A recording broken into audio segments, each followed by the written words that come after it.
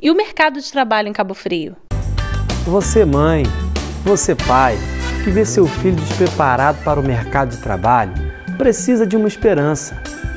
Cabo Frio teve governos anteriores que investiram em obras e programas sociais. Hoje chegou a hora de profissionalizar nossa gente, qualificar o nosso trabalhador.